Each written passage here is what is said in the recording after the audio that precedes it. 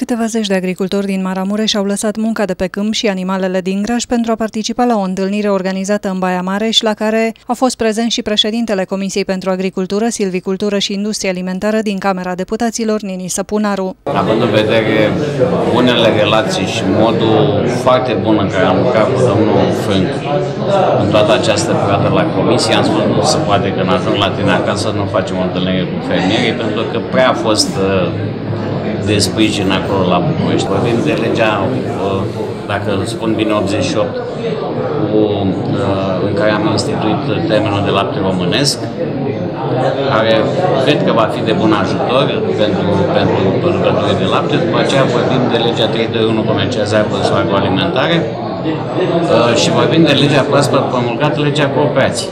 La întâlnire au fost prezenți și reprezentanții ai API a Direcției pentru Agricultură, DSVS Maramureș, câțiva parlamentari, precum și liderii unor asociații de profil agricol. Avem alături de noi pe președintele Comisiei de Agricultură Camera Deputaților, domnul Inisa cu care de un an și ceva am reușit să scoatem niște legi extraordinar de importante pentru activitatea Și aici mă refer la uh, legea etichetării la produselor modificarea legii cooperativelor de care avem atâta nevoie în perioada imediat următoare și cel mai important lucru, uh, reglementarea pieții cu produsele uh, alimentare în tot ce înseamnă rețele de magazine. Claudiu Frânca a afirmat că legea supermarketurilor este un câștig pentru români, indiferent că sunt producători sau cumpărători. El a afirmat cu această ocazie că un alt lucru important se va produce peste șase luni, când fiecare magazin care desface produse alimentare va trebui să aibă, în proporție de 51%, la rafturi marfă românească. Președintele Federației Crescătorilor de Bovine din România a spus că la acest capitol producătorii trebuie să mai muncească, astfel încât să poată asigura marfa necesară.